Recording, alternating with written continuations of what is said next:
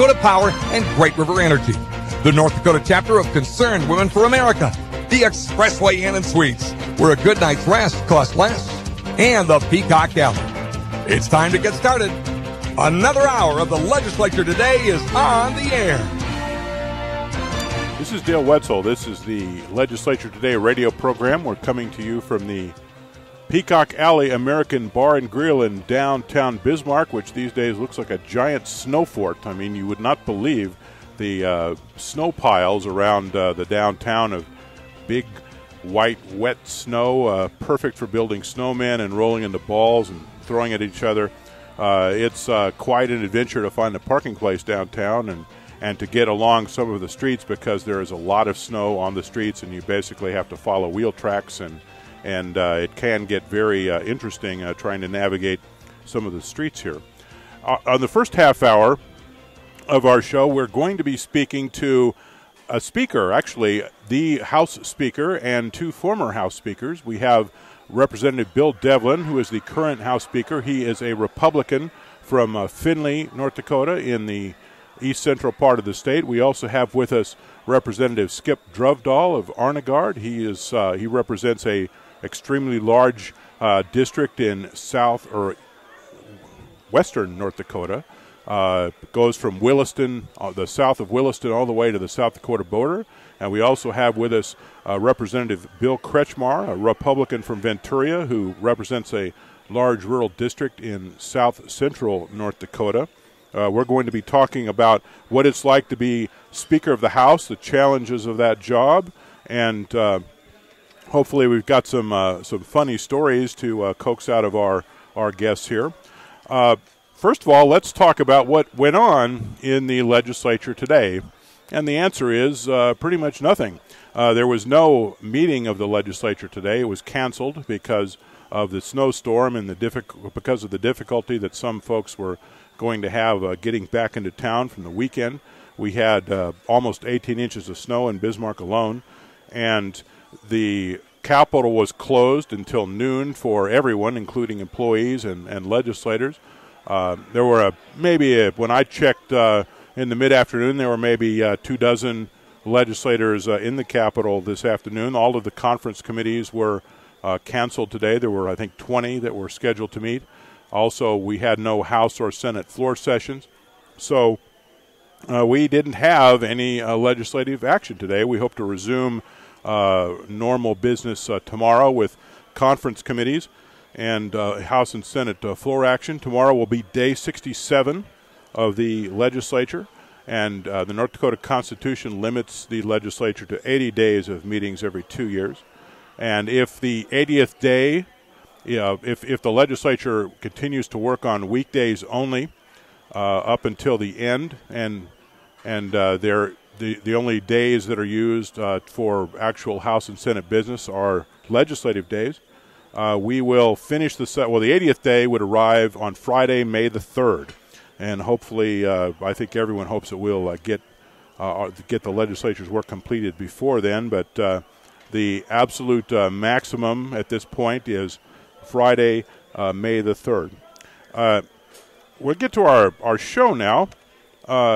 We're going to be speaking, as I mentioned, to the current House Speaker, uh, Representative Bill Devlin. He's a Republican from Finley, and two former speakers, uh, Representative Bill Kretschmar, a Republican from Venturia, who was the Speaker in the 1989 session, and also the Speaker during the 2011 session, Representative uh, David Skip Drovdahl of uh, Arnegard, a Republican.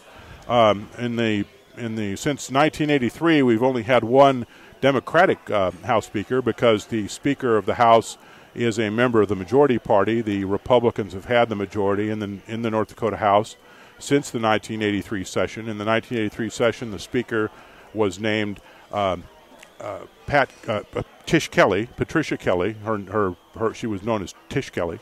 Uh, she was a Democrat from Fargo. She was in the House at the time. Later, she moved to the Senate. Um, Representative Devlin, why did you want to be Speaker? Well, Dale, it, you know, I've I've served since '97 uh, with a four-year gap, and and uh, you know, as I think my legislative career is probably running over, I felt it was a very interesting job to do. Uh, you know, it's, it's quite an honor for to be elected by your peers to that position. Um, I, I talked to Representative Drovdahl and, and others that have done it, uh, and they encouraged me to run for it. Um, it has been a very interesting, uh, very interesting opportunity for me. What is it like to be the speaker? What do you do? Mostly, the speaker's job is manage the floor session, make sure the bills are getting through the floor session, conference committees are being appointed. Um, at this at this stage, we're probably doing more in conference committee than we are actually bills on the floor. But you know, as they come out of conference committee, we have to take them up and get them passed or failed, whatever the case may be. Um, yeah, it's it's mostly management of the floor session to make sure that it moves smoothly. What role do you take in appointing conference committees? The conference committees are normally appointed by the ch- chairmen of the various committees with a little input, I'm sure, from the majority and minority leaders in the legislature. And essentially, what the speaker does is announce them. Is essentially what they do. That's their involvement. So, can you tell me what is a conference committee and what is its purpose? Conference committee is essentially when you have disagreements between the House and Senate. You take three members from each side or each chamber and uh, try to come up with some kind of agreement.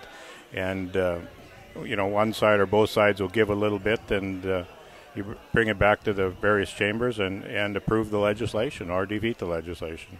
Okay, you're sitting up in the front of the House chamber, and your your position's kind of elevated, and you have the whole House of Representatives in front of you.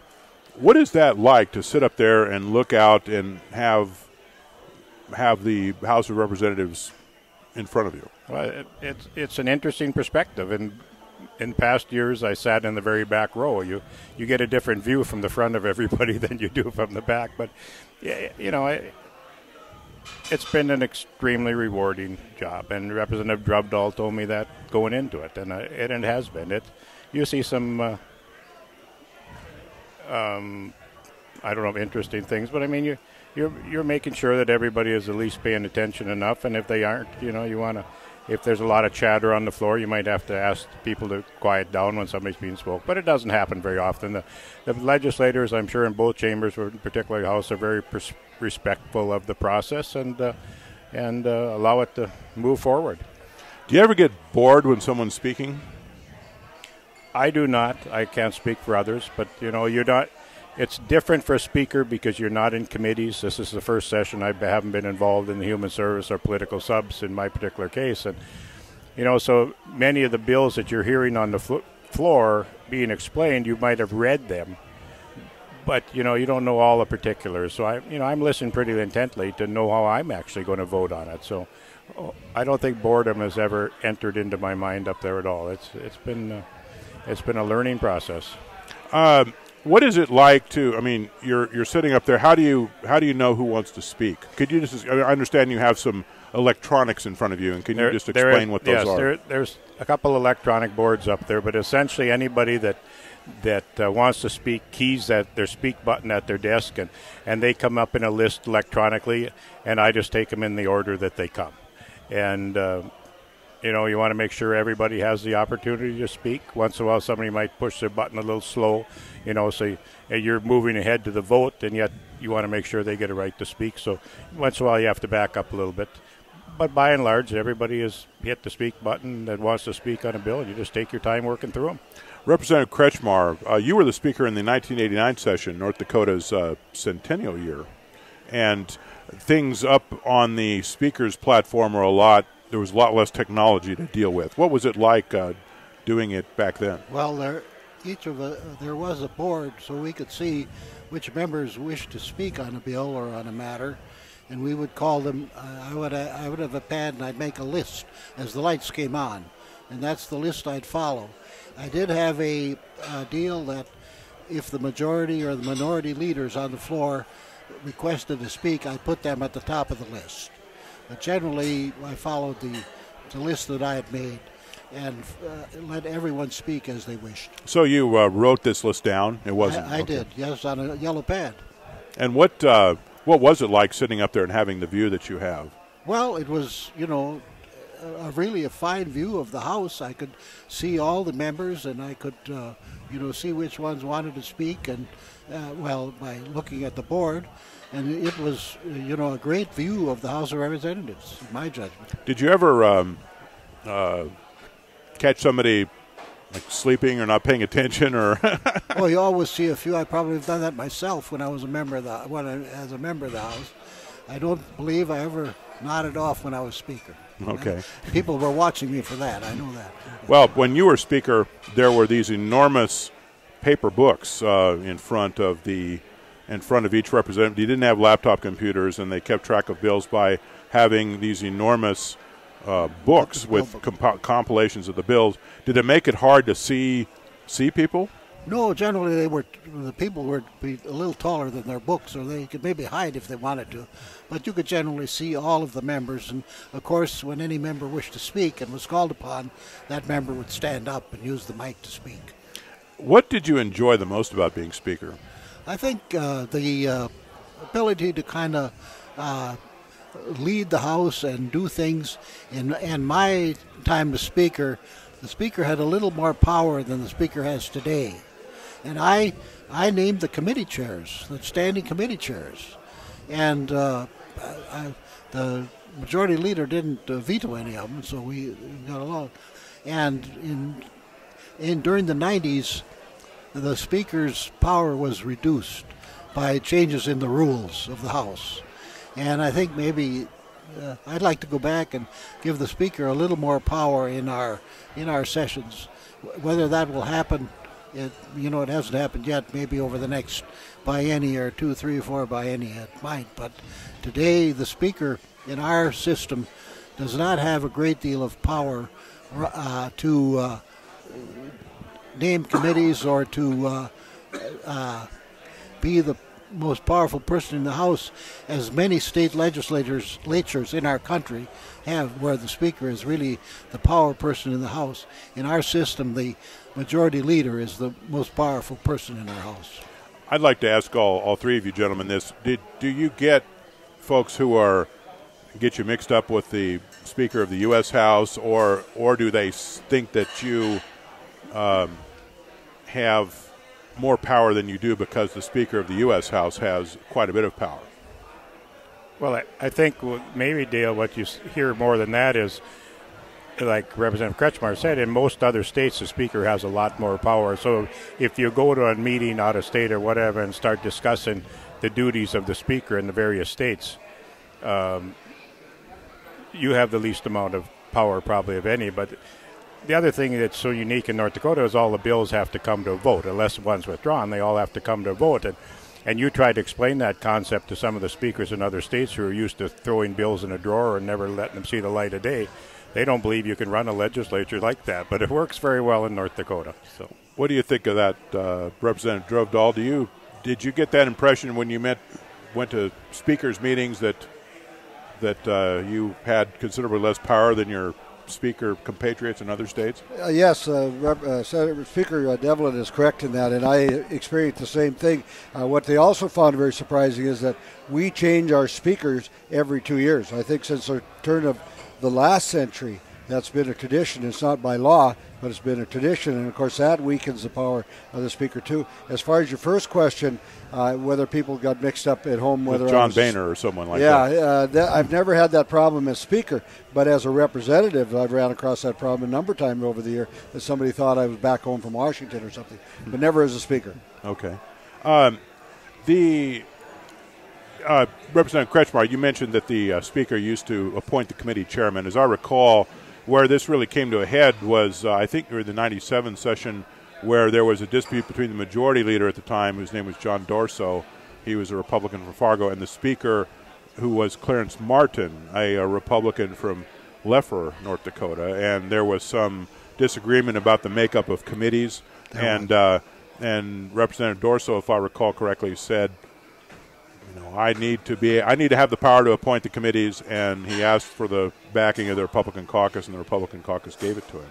Um, Representative Devlin, uh, would you like to have? I mean, do you think that the speaker has too little power in North Dakota's system? I, I don't know if it's too little power. It's just you know it's just different.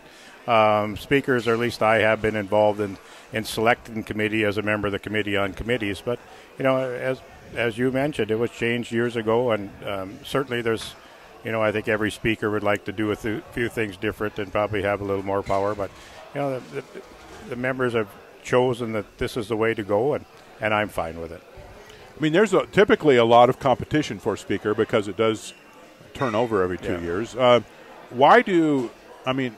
We discussed this subject with Representative Devlin. Uh, Representative Drovdahl, why did you want to be speaker, and, and Representative Kretschmar, why did you seek the job? What what what appealed to you about it? Well, the reason I ran to be a representative to begin with because I wanted to be involved in the decision making.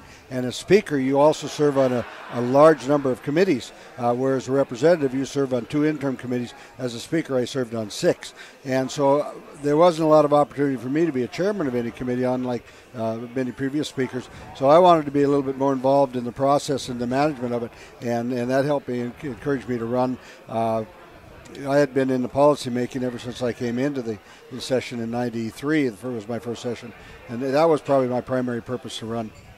Why did you, uh, Representative Kretschmar, why did you want to run for speaker? What did you find appealing I, about the I had worked uh, for quite a few sessions in the leadership portion of the House. I was the assistant uh, majority leader for uh, four or five sessions, and I chaired the Judiciary Committee here for a session or two before I ran for Speaker. But it was just to keep involved in the leadership of the House and to uh, do the things that the Speaker should do. I enjoyed being Speaker, but I uh, like to be a member of a committee too. That's for sure. Uh, you are the assistant to Earl Strinden. What was, was. what was what was he like Earl to be to be the to be the assistant to? Earl Strinden was one of the finest leaders that I ever served under because uh, he was a very hard worker. He knew state government inside and out, and he was a very fine legislator from his district. I've told people several times that uh, leaders of the quality of an Earl Strinden come along in a state legislature like ours maybe once or twice a century. And he was certainly the strongest leader that I've served under.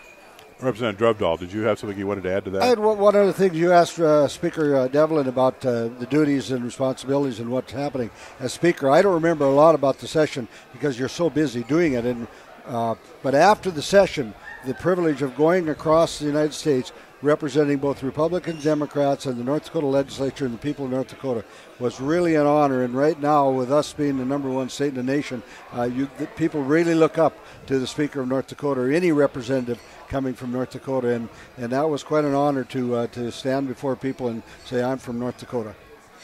Uh, Representative Devlin, you mentioned that you you have to pay close, particularly close attention when bills are being presented because you're not on the committees that hear the bills. Do you, do you miss being a, on a committee? I I do because I I enjoyed the policy committees. You know, I just really enjoyed it. I served on human service every session I was there, and, and I missed that part of it. But you know, that, this is fine. It's just different. You know, so I it um, I have I have no problem with it. I, I missed it, but I enjoy li- listening to legislators from both parties get up and explain the bill, how it came out of committee, how it changed in committee, what you know what is involved in, it at the stage that we're voting on it. You know, you. I listened to Representative Kretschmar as talking about making the, the notes, and most of our stuff is electronic now, except we all we keep track on paper of who has spoke because you're you're only allowed to speak twice on a bill, you know, unless you're the bill carrier or majority or minority leader. So you know you keep track of all that on paper, and and the timer's electronic. Uh, we have a time limit of 10 minutes the first time, five the second time. So you know you, you keep an eye on all that, but. It, on some of the bills that are maybe more controversial or more people have an interest in, you need to keep close tabs on who's actually spoke on them. Do you um, feel nervous sitting up there, for want of a better term, because everyone's eyes is on you? I mean, you can't you know, pick your nose or burp or do something like that. Well, you know, I, I think I get nervous if something entirely new that I haven't seen before comes up. Uh, you know, quite honestly, when you're sitting as a member of the House, you're not always paying attention to what all the various orders mean. You know, and if somebody asks to bring something up on the eighth order, or whatever it is, when you're first there, the first week, you have to think what all these things are. But you know, you, you get through it. I, I think you know. I would recommend it to veteran legislators that they run for speaker. If the opportunity's there, it's quite an honor and it's an enjoyable thing. Uh, Representative Kretschmar and Representative Drovdahl, how did you keep track of kind of the, the ritualistic nature of the job? I mean, you have to know what the orders mean, and there's certain things that you have to do after each bill is passed, and there's just a very strict procedure here, and, and, and I imagine it's hard to keep it all straight.